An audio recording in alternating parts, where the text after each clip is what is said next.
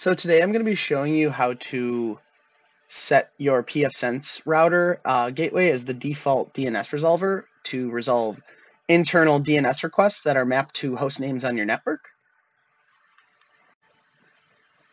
So I recently purchased a domain name from Cloudflare to set up uh, dynamic DNS.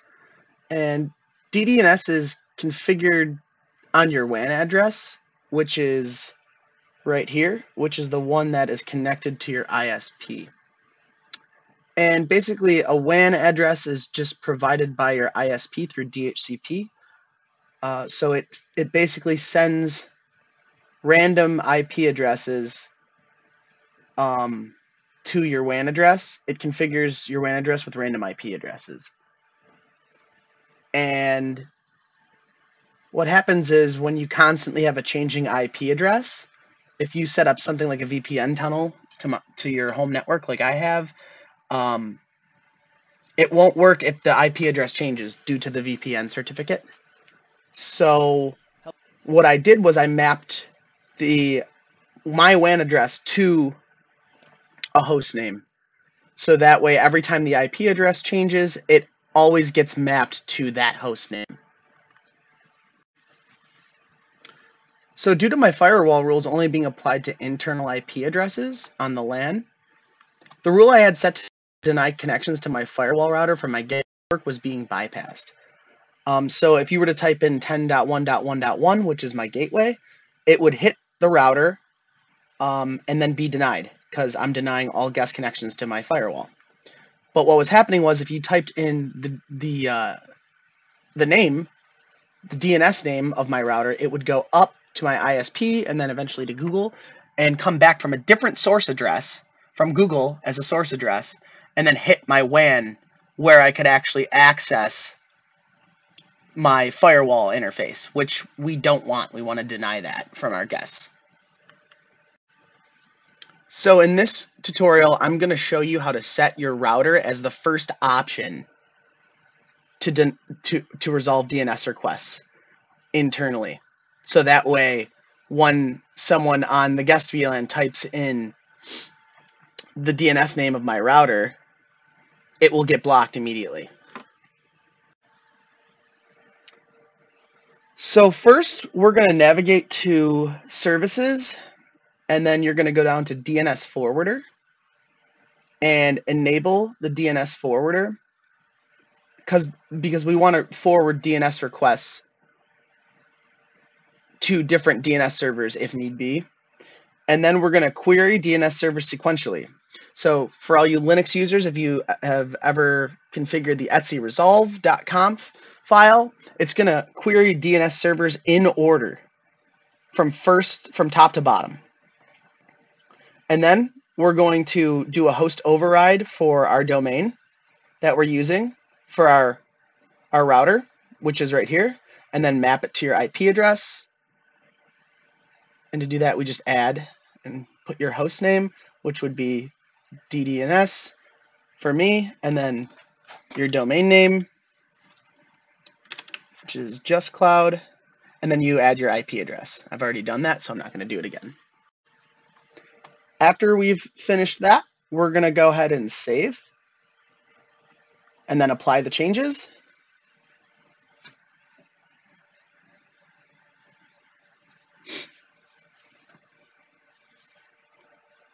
And then we're going to navigate to System General Setup.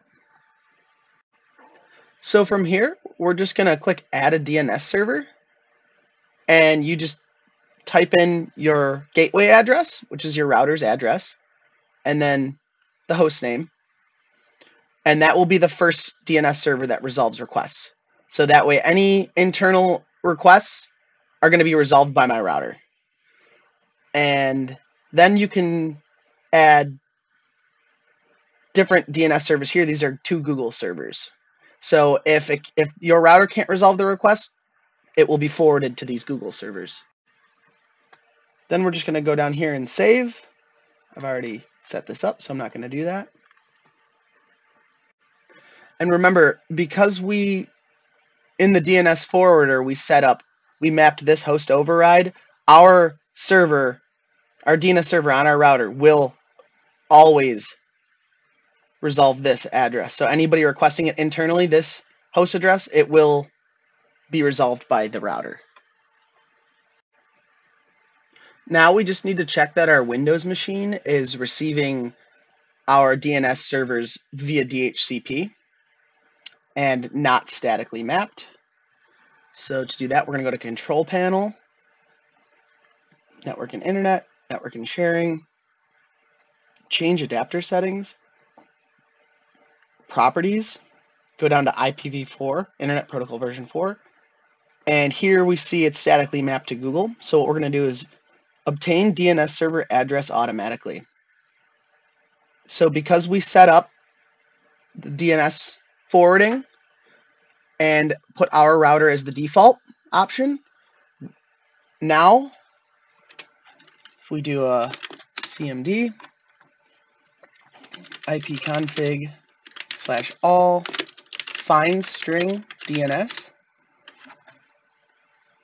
we see that the DNS server is set here to 10.1.1.1. That's our, always, if yours says something different, you're going to type different than your gateway router. You're going to type ipconfig slash release to release the DNS or the uh, DHCP address configuration, and you're going to type renew to renew your DHCP, which will renew all your config your DHCP configurations and then it should have your your DNS set to your gateway router. Now we're going to navigate over to the firewall to add a new rule to block request for that domain name on the LAN, on the guest VLAN, sorry. So we go to rules, LAN, you're going to add a new rule. I've already done so. I'll show you the configuration for that. It's where action is going to be block, the interface is LAN, IPv4 and IPv6, TCP and UDP because sometimes DNS requests can use TCP, but for the most part they use UDP.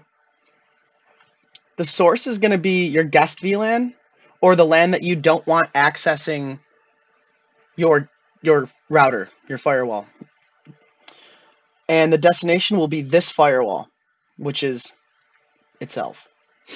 I'm logging, you don't have to log if you don't want. And then I just added a name here, block guest to ddns.justcloud.com. And we're going to save. And then apply the changes. And that's it. Now, any requests for that domain name that hit this router will be dropped and they will not be processed because we set up that rule. So anyone on the guest VLAN will not be able to access this router via that domain name. And I will show you that in a quick video on my phone.